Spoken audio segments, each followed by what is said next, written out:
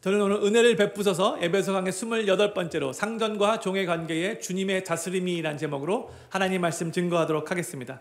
사도 바울은 에베소서 5장 22절부터 예수님을 믿고 은혜로 구원받아 크리스찬 된 성도들이 이제 예수님 안에서 어떻게 어떠한 관계를 맺으며 살아가야 하는가를 가르치고 있는데 제일 먼저 가정에서 부부 관계에 주님의 다스림이 나타나야 한다라고 가르쳤고 그 다음에는 또 여전히 가정에서 부모와 자녀 관계에 주님의 다스림이 나타나야 한다라고 가르쳤어요. 오늘 오늘 본문 말씀은 이제 주님의 다스림이 우리의 일터에서 생업의 현장에서 나타나야 하는데 특히 상전과 종의 관계에서 주님의 다스림이 나타남을 가르치고 있습니다.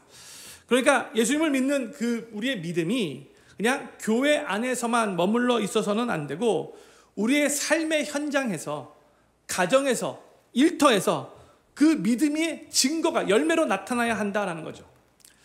오늘 본문 말씀은 에베소서가 쓰여진 그 1세기의 주인과 종의 관계를 배경으로 하고 있어요. 그렇지만 이제 현 시대를 살아가고 있는 우리 크리스천들에게는 어, 직장에서 혹은 사업체에서 우리가 일하고 있는 그 일터에서 어떻게 어, 윗상사와 윗선에 있는 사람들과 관계를 맺어야 하고 또한 어떻게 밑에 있는 사람, 부하 직원들과 관계를 맺어야 하는가를 가르쳐 주고 있는 말씀입니다. 또한 이 본문 말씀은 직업 윤리에 대한 교훈을 주는 또 중요한 가르침이 됩니다. 오늘 본문 말씀의 내용과 아주 비슷한 내용의 말씀이 골로새서 3장 22절부터 4장 1절에도 기록되어 있어요. 사도 바울이 로마 감옥에 갇혀 있을 때에 네 개의 편지를 썼는데 우리는 보통 그것을 옥중서신이라고 불러요. 간단하게 애골빌빌 하고 있죠. 에베소서, 골로새서, 빌레몬서, 빌립보서. 애골빌빌 옥중서신이라고 말하는데 사도 바울이 이 에베소서를 쓰면서 아주 비슷한 시기에 같은 장소였던 이 로마 감옥에서 또 골로새서를 썼어요. 그리고 에베소와 이 골로새 이 두 도시는 둘 다 이 로마 제국 안에 아시아 그 지역에 위치한 서로 한 160km 정도밖에 떨어져 있지 않는 그런 두 도시였어요. 저는 이 시간에 오늘 본문 말씀의 내용을 나누기 전에 먼저 골로새서 3장 22절부터 4장 1절까지의 내용을 먼저 읽어보기를 원해요. 어, 이 내용을 제가 읽을 때 성도님들 오늘 본문 말씀과 얼마나 비슷한가를 한번 보실 수 있기를 바래요. 제가 천천히 읽도록 하겠습니다. 골로새 3장 22절부터요. 종들아 모든 일에 육신의 상전들에게 순종하되 사람을 기쁘게 하는 자와 같이 눈가림만 하지 말고 오직 주를 두려워하여 성실한 마음으로 하라. 무슨 일을 하든지 마음을 다하여 죽게 하듯 하고 사람에게 하듯 하지 말라. 이는 유업의 상을 죽게 받은 줄 알미니 너희는 주 그리스도를 섬기느니라. 불의를 행하는 자는 불의의 보응을 받으리니 주는 외모로 사람을 취하심이 없느니라. 상전들아 의와 공평을 종들에게 베풀지니 너희에게도 하늘의 상전이 계심을 알지어다. 아멘. 보세요. 이 골로새서의 내용이 오늘 본문 말씀의 내용과 아주 많이 비슷하죠. 저는 오늘 에베소서 6장 5절부터 9절의 말씀의 내용을 성도님과 같이 나누면서 이 골로새서 제가 방금 전에 이 골로새서의 말씀을 인용하며 오늘 본문의 내용을 좀 더 보충하면서 같이 말씀을 나누도록 하겠습니다. 어, 다시 한번 에베소서 6장 5절 말씀을 같이 읽기를 원하면 같이 읽겠습니다. 시작. 종들아 두려워하고 떨며 성실한 마음으로 육체의 상절에게 순종하기를 그리스도께 하듯 하여 했어요. 5절이 어, 종들아라고 이렇게 시작을 하고 있죠. 여기서의 종들은 그 당시에 노예 신분을 가지고 있었던 크리스찬 노예들을 의미하는 거예요. 그 당시 로마 제국은 노예 제도를 사회의 아주 중요한 제도로 여기고 있었습니다. 그 당시 로마 제국 전체 인구의 약 3분의 1이 노예였다고 해요. 그 당시 로마 제국 안에 노예의 숫자만 6천만 명이 이뤘다고 해요. 지금 한국 남한 인구가 약 5,100만 정도라고 하는데 2000년 전에 로마 제국 안에 있었던 노예의 숫자가 더 많았다는 거죠. 그 당시에 노예는 어, 황제 옆에서 편지를 쓰는 그런 노예도 있었고 어, 영화 배너를 보면 볼 수 있듯이 배에서 정말 죽을 때까지 노를 젓는 노예도 있었어요. 어, 심지어 노예 중에 의사, 교사, 뭐 철학자, 음악가, 배우들도 이렇게 있었어요. 왜 이렇게 노예들이 많이 있었는가? 그 당시 로마 제국의 노예는 거의 대부분 전쟁 포로로 잡혀온 사람들이 많이 있었기 때문에 그래요. 전쟁 포로였기 때문에. 그러면 그 당시의 노예 주인은 자신들의 그 노예를 어떻게 취급을 했는가? 노예는 사람이라고 할 수 없어요. 거의 물건과 같이 그저 소유물과 같이 여겼고요. 노예에게는 인권이라는 것이 전혀 있지 않았습니다. 그 당시 노예의 주인은 자신의 노예의 생살 여타권까지도 가지고 있었어요. 노예에게 주인이 막 채찍질을 할 수도 있었고요. 노예를 자신이 그냥 감옥에 가둘 수도 있었어요. 경우에 따라서는 법적인 절차 없이 그냥 사형을 집행할 수도 있었어요. 그러니까 이 주인이 노예를 자기 마음대로 막 할 수 있었다는 거죠. 그리고 거의 대부분의 경우 노예들은 열심히 일을 했지만 그 주인들은 날마다 놀고 먹는 것이 일상이었어요. 노예들이 노동을 다 해주었기 때문에 주인들은 일할 필요가 없었던 거예요. 성경들이 그 당시의 노예 제도가 어떠했는가를 좀 더 다 이해하기 위해서 제가 주석가 윌리엄 바클레이가 쓴 글을 한번 읽어드리도록 하겠습니다. 스크린에 나올 텐데 눈으로 따라주면 좋을 것 같아요. 당시 노예들의 종류는 우리가 생각하는 것 이상으로 다양해서 단순한 육체 노동자만이 아닌 의사, 교사, 음악과 배우 등도 있었다. 모든 일들은 실제로 노예들이 다 했다고 해도 과언이 아니다. 세계를 제패한 로마인들이 자신의 일을 직접 할 필요가 없다는 생각이었다. 노예들이 요즘 현대 전문가들이 하는 일들을 하는 동안 로마의 자유 시민들은 놀고 즐기는 것을 당연시했다. 전쟁에서 계속 로마가 승리하는 한 노예는 무궁무진하게 공급되었기 때문이다. 노예는 정식으로 결혼할 수는 없지만 남녀가 함께 살면서 자식을 낳을 수는 있었다. 물론 태어난 자식은 당연히 부모의 소유가 아닌 주인의 소유가 되었다. 노예들이 모두 비참하고 불행했으며 잔인한 취급을 당했던 것은 아니다. 어떤 노예들은 가족의 일원처럼 사랑을 받기도 했다. 그러나 한 가지 별 수 없는 사실은 로마법에 의하면 노예는 재산이지 사람이 아니라는 사실이었다. 그러므로 노예는 어떤 법적 보호도 받지 못했다. 저들은 어떠한 공평한 대우와 정의에 입각한 대우를 기대할 수 없었다.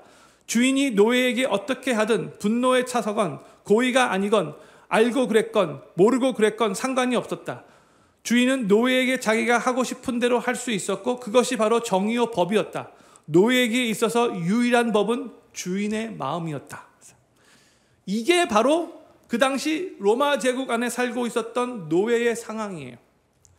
바로 이런 배경에서 수많은 노예들은 사도 바울이 전한 사도 바울뿐만 아니라 다른 또 복음 전도자들이 전한 복음을 듣고 예수님을 믿게 되었어요. 어, 이 노예들이 볼 때 이 땅에서는 큰 소망이 없었기 때문에 어, 노예들은 누구보다도 절실한 심정으로 예수님을 영접하게 된 거예요. 초대교회 공동체는 예수님을 영접한 노예들을 교회 공동체의 일환으로 가족들로 흔쾌히 받아들였고요. 교회에서는 뭐 주인의 신분이나 노예 신분이나 그런 거 상관없이 다 예수님 안에서 우리는 이제 패밀리가 되었다. 이렇게 생각하면서 함께 같이 신앙생활을 했었어요. 그래서 초대교회의 성도들 중에 50% 이상이 노예나 노예 출신이었다라고 합니다. 제가 전에 말씀드렸듯이 조금 더 많은 곳은 70%까지 어, 육박하는 노예의 그 비율이 교회 안에서 그렇게 많이 어, 비중을 차지했다는 거예요. 바로 이런 상황에서 저들은 예수님을 믿고 심령의 큰 은혜를 경험하고 영적으로 기쁨 가운데 살아가고 있었지만 여전히 노예라는 신분은 변화가 없었죠. 특별히 그들의 주인이 예수님을 믿지 않는 사람이었다면 거의 대부분이 그 경우였는데 그들은 여전히 자신들의 주인들로부터 비인간적인 취급을 받으며 매일매일 어떻게 보면 정말 어, 속상하게 괴롭게 살아가고 있었어요.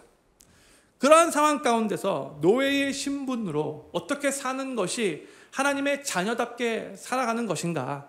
어떻게 내가 주인을 대해야 하는가? 특별히 예수님 안 믿는 주인이 나에게 함부로 막 대하는 경우들이 많이 있는데 그 상황 속에서 어떻게 해야 하는가? 이 크리스천 노예들이 많이 궁금해하고 있었는데 사도 바울이 그런 크리스천 노예들에게 오늘 본문 말씀을 전하고 있는 거예요. 다시 5절 말씀 제가 읽도록 하겠습니다. 5절 말씀이요. 종들아 두려워하고 떨며 성실한 마음으로 육체의 상전에게 순종하기를 그리스도께 하듯하여 했어요. 두려워하며 떨라라고 이렇게 하고 있죠. 이 말은 주인을 두려워하라는 말이 아니에요. 어, 아까 읽었던 골로새 3장 22절에 보면 이 비슷한 말씀을 사도 바울이 하면서 주님을 두려워하라라고 기록하고 있어요. 여기서 두려워하고 떨면은 주님을 경외하는 마음을 가지라는 뜻이에요. 주님을 경외하는 마음으로 상전에게 순종하라 이 말씀이에요. 성실한 마음은 영어로 sincere heart로 이렇게 번역되었죠. 이 마음은 상전을 섬길 때에 어떤 숨겨진 의도나 위선이나 그런 다른 그런 저희가 없이 순수한 마음으로 그렇게 섬겨라 그런 뜻인 거예요.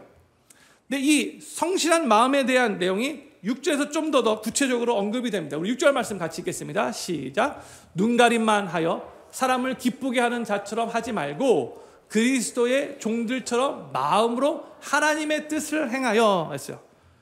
보세요. 주인 눈앞에서 열심히 일하는 척, 눈가림만 하지 말래요. 앞에서만 잘하는 척 하지 말래요. 주인이 없을 때에도 대충대충 하지 말고 열심히 성심성의껏 일하라는 그런 뜻인 거예요. 비록 주인은 안 보고 있다 할지라도 누가 보고 계세요? 우리 예수 그리스도께서.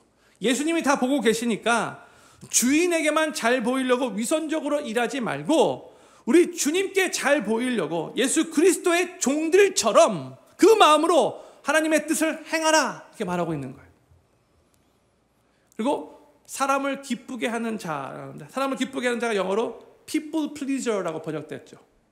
근데 우리는 people pleaser가 되어서는 안 되고 Christ pleaser가 되어야 되는 거예요. 그리스도를 기쁘시게 하는 자가 된다는 거예요. 그런데 우리는 많이 연약해요. 그래서 어, 우리 주님보다도 사람들의 눈을 더 많이 의식하는 경우가 많아요. 사람들을 의식하여서 사람들 앞에서 봉사하는 경우도 있고요. 어, 또 사람들이 볼 때는 좀 더 열심히 하는 경우도 있고요. 또 내가 했다는 거 사람들에게 자랑하고 싶은 적, 싶어하는 적도 있고요. 그래서 사람들에게 더 많이 인정받고 싶어 하는 마음이 많아요.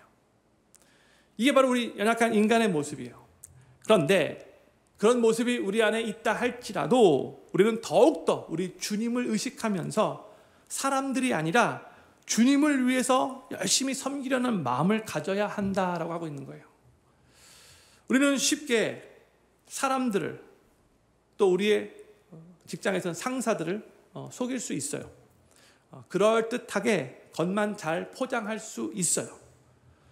상사 앞에서는 열심히 일하는 척 할 수 있어요.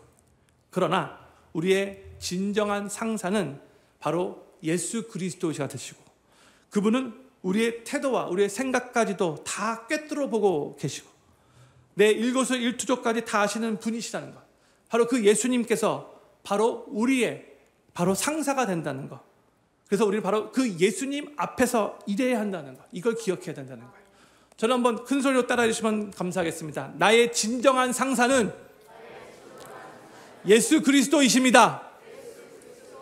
아멘이십니까? 아멘. 항상 이 자세로 일해야 된다는 거예요. 누가 보든 보지 않던 예수님이 보고 계시니까. 그 예수님이 나의 진정한 상사이니까. 7절에서 바울이 이렇게 가르칩니다. 7절 말씀이에요. 같이 읽겠습니다. 시작. 단 마음으로 섬기기를 죽게 하듯 하고 사람들에게 하듯 하지 말라 했어요. 여기서 한국말 우리가 사용, 하고 있는 이 개혁 한글로는 단 마음이라고 번역됐는데 영어로 보면 with a good will이라고 그렇게 번역되었죠. 헬러 원어를 보면 이 단어가 유노이아라는 단어인데 이것은 의무감으로 억지로 하는 것이 아니라 자원하는 마음으로 기쁨으로 섬기라는 그런 의미예요. 단 마음으로. 사랑하는 필경교 성도님들, 성도님들은 요즘에 어떠한 마음으로 일터에서 일하고 계시는지요? 많은 분들 은퇴하신 분들도 계시는데 어떠신지요? 음, 저는 필그림교 성도님들이 우리 주님을 경외하는 마음으로 또한 성실한 마음으로 이 people pleaser가 아니라 Christ pleaser가 되어서 또한 억지로가 아니라 자원하는 마음으로 기쁜 마음으로 일터에서 일하실 수 있기를 바라고 그렇게 되기 위해서 간절히 소망하며 기도하면서 최선을 다해 노력하시게 되기를 우리 구주 예수님의 이름으로 간절히 축원합니다. 오늘 본문 말씀을 준비하다가 창세기에 나오는 요셉이 생각이 났어요. 요셉은 어, 그 형들이 시기해서 처음에는 죽이려고 하다가 결국 애굽의 노예로 팔아버렸죠.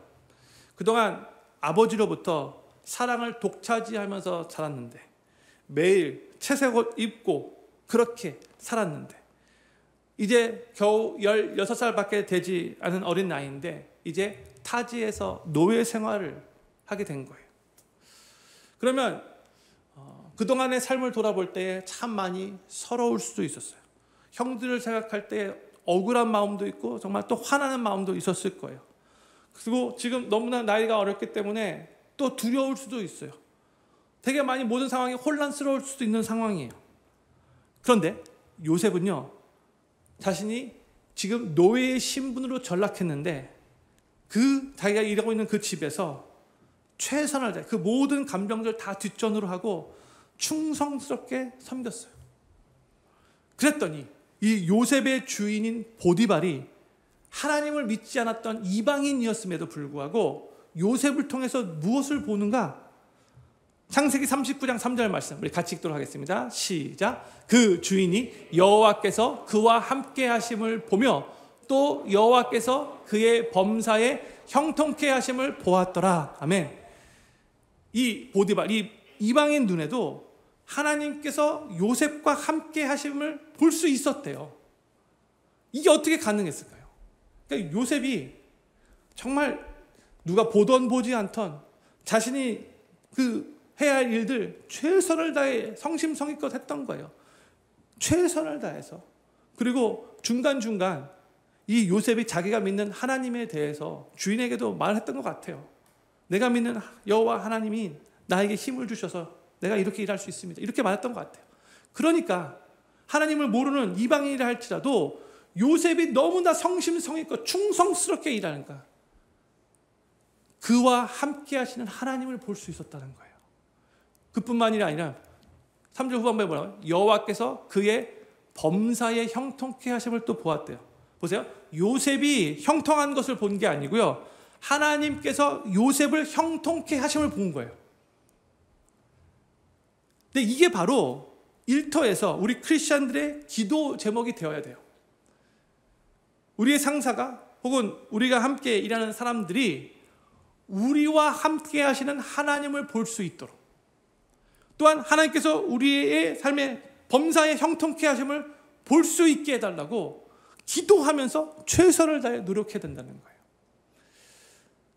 근데 바로 이 기도가 우리의 일터에서 응답되기 위해서는 우리가 꼭 기억해야 될 것이 있습니다.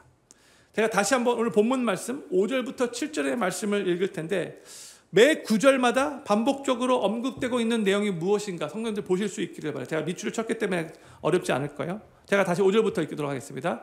종들아 두려워하고 떨며 성실한 마음으로 육체의 상전에게 순종하기를 그리스도께 하듯 하여 눈가림만 하여 사람을 기쁘게 하는 자처럼 하지 말고 그리스도의 종들처럼 마음으로 하나님의 뜻을 행하여 단 마음으로 섬기기를 죽게 하듯 하고 사람들에게 하듯 하지 말라 했어요. 5절에서는 상전에게 순종하기를 그리스도께 하듯 하라라고 하고 있어요. 그 다음에 사람들 앞에서 눈 가림 맞추면서 이렇게 하지 말고 그리스도의 종들처럼 하라고 6절에서 말하고 있고 7절에서는 상전을 섬길 때 죽게 하듯 하라라고 이렇게 말하고 있어요. 이 말은요, 상전이 그리스도다라고 말하고 있는 것이 아니에요. 또 뭐 상전이 그리스도를 대리한다라는 그런 말도 아니에요. 이게 뭘 의미하는 것인가? 이 말은요, 상전에게 순종하는 것을 우리 하나님은 우리가 그리스도께 순종하는 것으로 여기신다라는 그런 말이에요. 우리가 일터에서 우리의 상전에게 순종해야 될 때가 있는데 어떨 때는 부당한 것을 요구하게 되면 순종하기가 참 힘들게 느껴지잖아요. 내 상사가 은근히 갑질하는 것 같이 보여지면 별로 순종하고 싶은 마음이 안 생겨요. 그런데 그때에도 우리는 상전에게 순종해야 한대요. 왜요? 하나님께서 우리가 상전에게 순종하는 것을 그리스도께 순종하는 것으로 여겨주실 것이기 때문에 그 길을 하는 거예요. 근데 이 말씀의 내용을 좀 더 구체적으로 가르치는 내용이 베드로전서 2장 18절에 나옵니다. 우리 베드로전서 2장 18절 말씀 같이 한번 읽도록 하겠습니다. 시작. 사완들아 범사에 두려워함으로 주인들에게 순복하되 선하고 관용하는 자들에게만 아니라 또한 까다로운 자들에게도 그리하라 그랬어요. 이 말씀도 베드로가 크리스천 종들에게 사원들에게 솔벤트에게 하는 말씀이죠. 선한 주인들 뿐만이 아니라 까다로운 주인들에게까지도 순복하라고 알려주고 있어요. 까다로운 주인이 영어로 보면은 the unjust라고 그렇게 번역되었어요. 그러니까 의롭지 못한 부당한 주인을 의미하는 거예요. 갑질하는 주인. 뭔가 뒤틀려 가지고 정말 인격이 뭐가 나서 섬기기 힘든 주인. 하, 정말 하, 밤에도 나타날까봐, 꿈에도 나타날까봐 막 그냥 너무너무 소름 끼치는 그 주인. 어? 보통 이런 사람들은 성격이 특이해서 주위에 친구도 거의 없어. 그러니까 자꾸 밑에 있는 사람들에게 더 함부로 막 하는 거예요. 막 그걸 통해서 자신들의 스트레스를 막 푸는 것 같아요. 이런 상사 밑에서 일할 때는 정말로 속상하고 스트레스 많이 받고 뛰쳐나고 싶어요. 어떨 때는요, 내가 안 했는데도 내가 했다라고 뒤집어 씌울 때도 있어요. 내 위 상사가. 또 어떨 때는 내가 열심히 한 건데 자기가 했다고 내 공로를 가로챌 수도 있어요. 그럼 너무나 화가 나죠. 제가 다 경험해 봤어요. 직장 생활 하면서도 다. 근데 이게 한 번만으로 끝나면 그래도 참겠는데 계속 반복되면 정말 마음이 힘들어져요. 그러면 아, 내가 뭐가 아쉬워서 이 사람 밑에서 일하지? 이런 생각이 하루에도 여러 번 들 수 있어요. 그런데 그러한 상사라 할지라도 순복하라고 또 여기서 순복 썸밋하라는 말이 나와요. 이게 성경적, 성경의 일관적인 가르침이에요. 그러한 상사에게 순복하는 것을 하나님은 우리가 그리스도께 순복하는 것으로 여기신다는 것을 기억하면 우리가 조금 더 쉽게 순복할 수 있게 되는 거죠. 내가 비록 저 정말 성, 성격 안 좋은 저 상사에게 내가 지금 순복하고 싶지 않지만 그 상사에게 순복하는 것이 우리 주님께 순복하는 것으로 우리 하나님이 여기신다니까 내가 죽게 하듯 해야겠구나. 이런 마음을 가져야 한다는 거예요. 그리고 우리가 일터에서 일할 때에 그 직장, 그 사업체는 하나님께서 나에게 사명이 있어서 허락하신 일터라는 것을 항상 기억해야 돼요. 대부분의 사람들은 일터를 그저 일하고 돈 버는 곳으로 여겨요. 그렇죠? 그렇지만 일터는요. 성경적으로 볼 때에 우리 크리스천들에게 그리스도의 제자로서의 삶을 실천하는 사역의 현장이 되는 거예요. 이 너무나 중요한 컨셉이에요. 우리 크리스천들은 자신의 직업을 소명으로, 자신의 일터를 사역지로, 자신이 전문인 사역자라는 이 비전을 가지고 자신이 하는 일이 세상의 일이 아니라 주님의 일이라는 것을 확신하면서 일해야 돼요. 스크린에 떴는데 우리 같이 한번 이 말씀 그대로 읽도록 하겠습니다. 시작. 크리스천들은 자신의 직업을 소명으로, 자신의 일터를 사역지로, 자신이 전문인 사역자라는 비전을 가지고 자신이 하는 일이 세상의 일이 아닌 주님의 일임을 확신하며 일해야 합니다. 아멘. 이 마음을 갖고 있어야 돼요. 하나님께서 우리 크리스천들을 우리 일터의 제사장으로 부르셨다는 거 항상 기억하고 있어야 돼요. 내가 내 일터에 하나님께서 부르신 제사장이다. 이런 생각을 가져야 돼요. 목회자가 교회에서 성도님 섬기고 주님을 섬기는 것이 목회자의 소명인 것과 마찬가지로 성도님들은 일터에서 주님을 섬기고 또 일터에서 있는 그 사람들을 섬기는 일이 소명이라는 것, 그게 바로 하나님의 컬링이라는 것을 항상 기억하면서 일하셔야 된다는 거예요. 사도 바울이 오늘 에베소 본문 말씀에서 가르치는 내용을 아까도 말씀드린 골로새서 3장에서 가르쳤는데 이 내용이 비슷한 말씀인데 제가 다시 한번 골로새 3장 23절 24절 말씀을 읽도록 하겠습니다. 무슨 일을 하든지 마음을 다하여 죽게 하듯 하고 사람에게 하듯 하지 말라. 이는 유업의 상을 죽게 받을 줄 알미니 너희는 주 그리스도를 섬기느니라 했어요. 사도 바울이 지금 일터에서 일하면서 상전을 섬기는 것이 곧 주 그리스도를 섬기는 것이다 하고 말씀하고 있죠. 성도들 이 땅에서의 신분이 상전을 모시고 있는 종이라 할지라도 만약 예수님을 믿고 크리스찬이 되었다면 크리스찬의 그 일차적인 신분은 이 땅의 상전의 종이 아니라 하늘의 상전이 되시는 그리스도의 종이 된다는 것을 확신해야 돼요. 우리의 상전은 바로 예수 그리스도라는 거예요.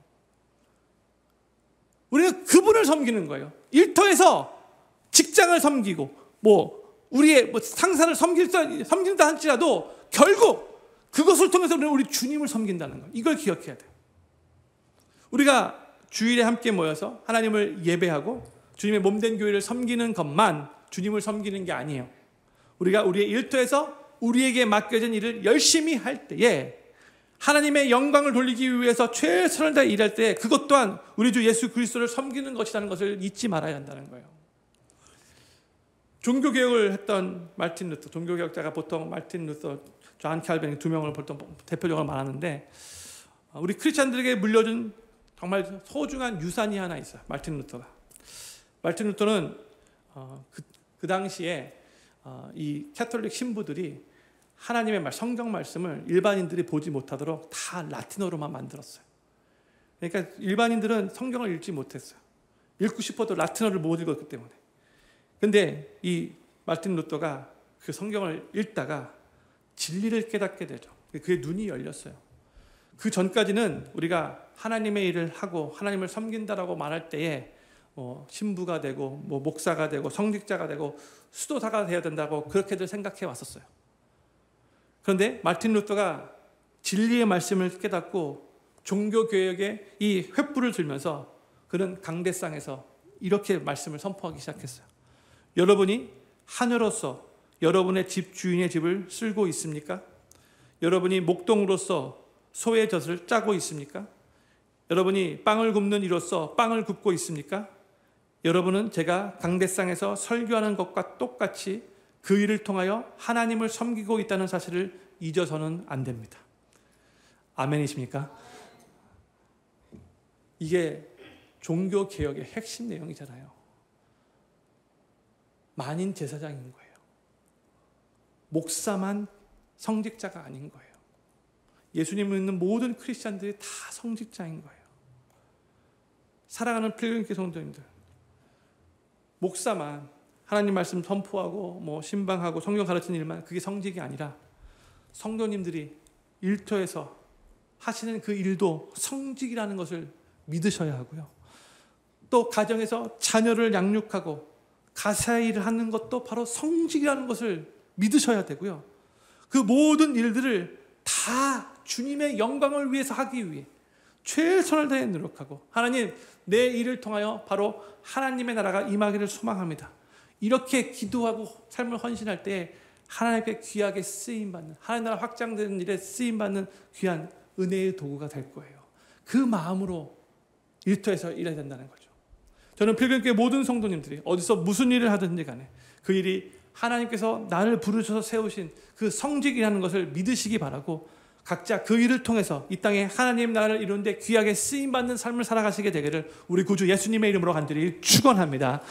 사도 바울은 8절에서 왜 종이 상전을 죽게 하도 섬겨야 하는가 그 이유를 우리들에게 말씀해 주고 있어요. 그 이유가 여러 가지가 있지만 8절에서는 이렇게 말씀하고 있어요. 8절 말씀 같이 읽겠습니다. 시작. 그는 각 사람이 무슨 선을 행할지든지 종이나 자유하는 자나 주에게 그대로 받을 줄을 알미니라. He will receive back from the Lord라고 기록했어요.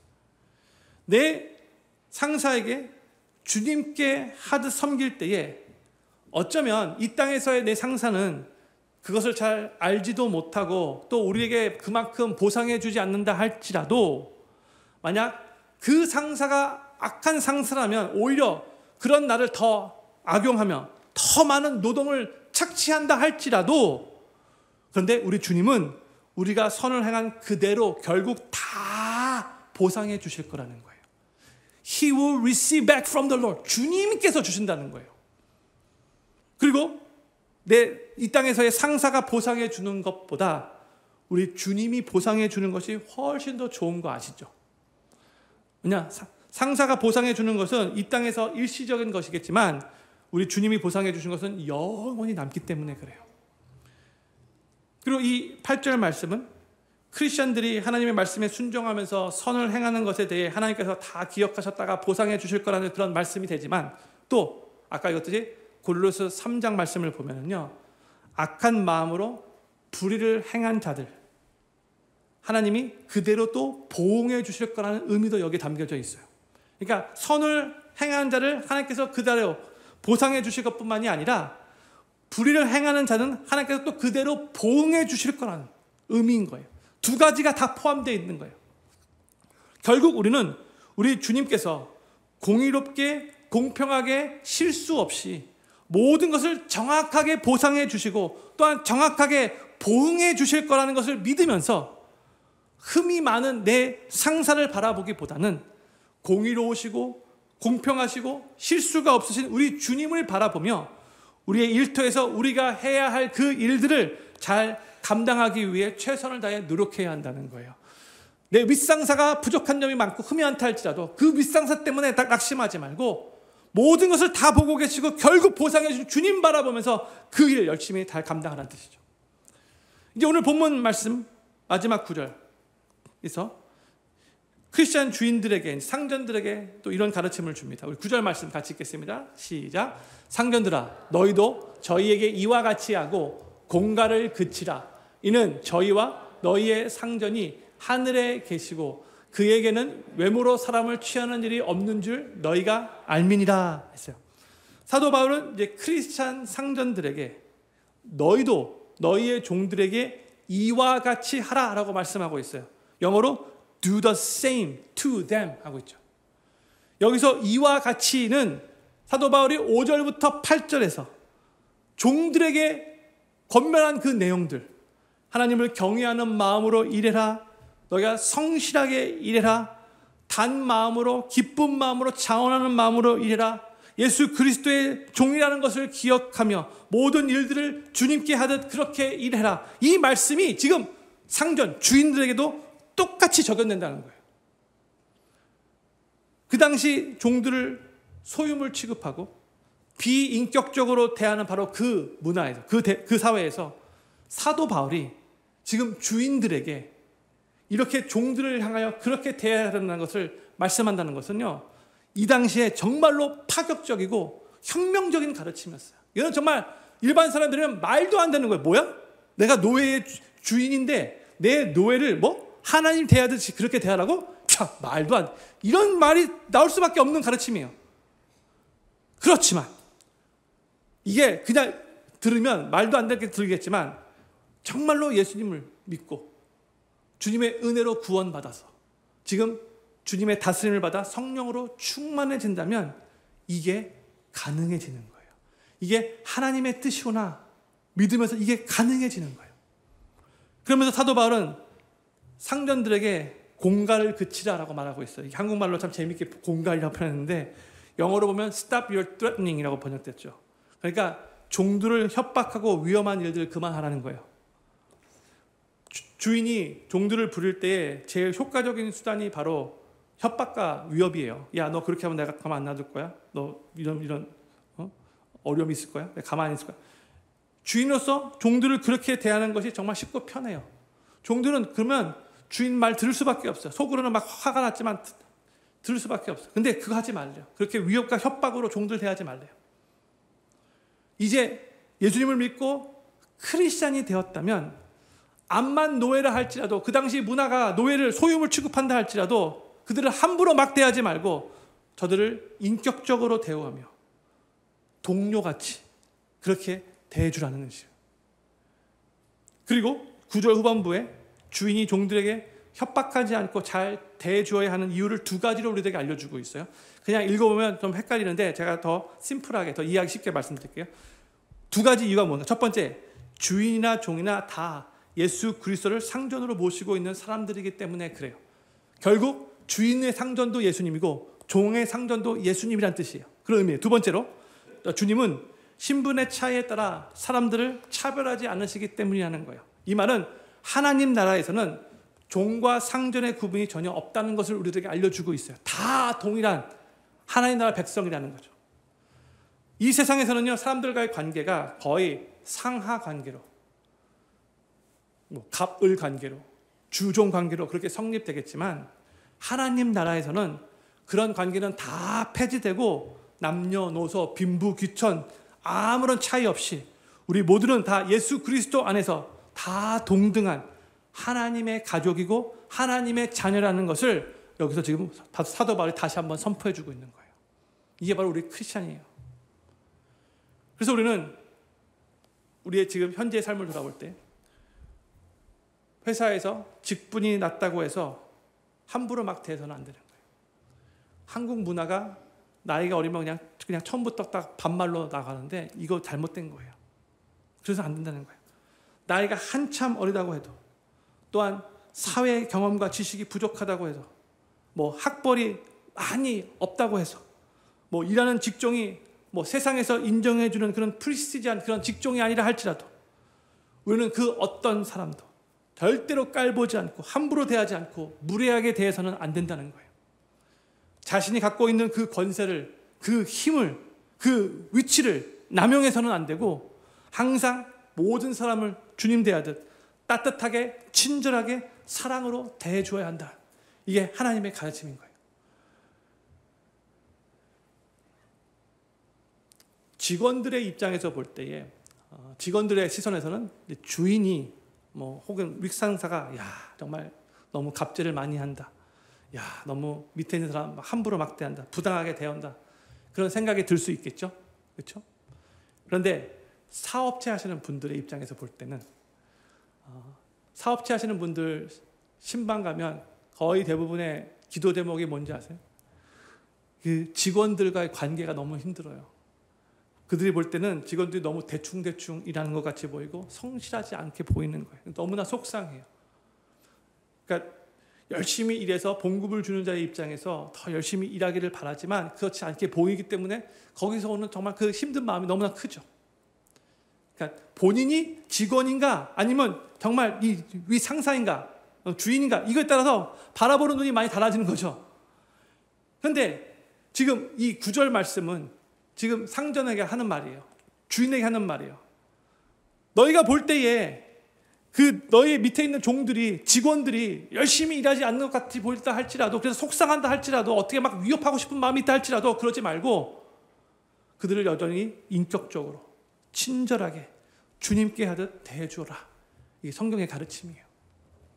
우리 각 크리스찬들이 주님의 다스림을 받아 성령으로 충만해지면 각자의 일터에서 주변에 있는 모든 사람들에게 이렇게 대하고 관계를 맺게 되는 것이고 그럴 때에 이 세상은 우리 크리스천들을 통해서 예수님의 그 아름다움을 볼 수 있게 되는 것이고 이 세상은 조금씩 조금씩 우리 크리스천으로 말미암아 아름답게 변화될 수 있는 거예요.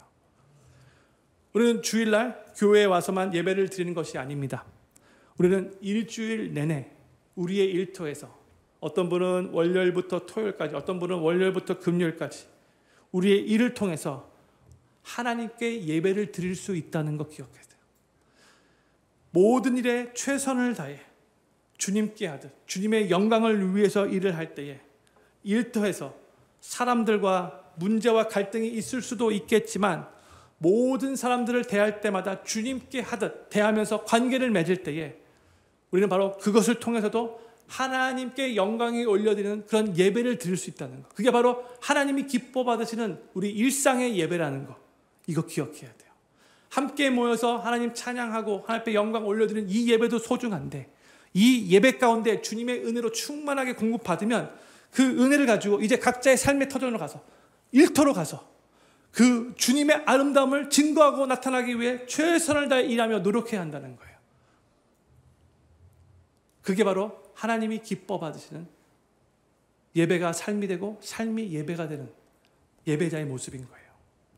그리고 우리가 그렇게 일할 때에 우리의 일터가 우리로 말미암아 우리 주님을 예배하고 또 주님이 일하시고 역사하시는 하나님의 나라가 임하는 장소가 될 거예요. 각자 그 일터가 천국을 맛보는 일터가 되기를 기도하며 노력하셔야 한다는 거예요. 초대교회 시대에 많은 노예 크리스천들은 자신이 노예의 신분에 있음에도 불구하고 많은 때에 주인으로부터 부당한 대우를 받았음에도 불구하고 자신이 노예로 일하는 그 일을 하나님이 주신 일로 받아들이고 주인에게 억울한 대우를 받는다 할지라도 최선을 다해서 예수님께 하듯 그렇게 주인을 섬겼어요. 그랬더니 초대교회 그 세팅 가운데 놀라운 일들이 벌어지기 시작했어요. 이제 이 크리스찬 종들의 주인들이 이 크리스찬 종들의 그 삶을 보고 감동을 받기 시작했고요. 그래서 이 종의 이 주님은 누구인가? 얘는 크리스찬이라고 하는데 내가 얘가 믿는 예수님 믿고 싶다. 이런 마음이 불러일으키기 시작된 거예요. 근데 성도님들 이거는요 정말로 일어나기 어려운 일인데 노예 신분으로서 주인의 마음을 그렇게 변화시킨다는 건 어려운 일인데 그 일이 일어난 거예요. 또 이 주인들이 이 종을 통해서 예수님을 믿기 시작하니까 또 이들도 이제 은혜를 체험하게 됐겠죠. 은혜를 체험하니까 이제는 자신이 손해를 감수하고 자신 밑에 있는 이 수많은 노예들을 이제 자유인으로 풀어주는 일들이 일어나기 시작했어요. 1세기의 크리스천으로 말미암아 엄청난 일들이 일어난 거예요. 그런데 그게 다 노예는 노예의 입장에서 주인은 주인의 입장에서 각자 삶의 현장에서 하나님께 순종하기 위해 최선을 다해 노력했기 때문에 이게 다 가능했던 거죠. 저는 필리핀께 모든 성도님들이 각자의 일터에서 주님을 온전히 예배하시기를 바라고 성령으로 더욱더 충만해서 주님의 다스림을 받으며 자신의 그 일터에서 하나님 나라가 확장되는 일에 우리 예수 그리스도의 아름다움을 증거하고 나타나는 일에 귀하게 쓰임 받으시게 되기를 우리 구주 예수님의 이름으로 간절히 축원합니다. 우리 다 자리에서 일어나셔서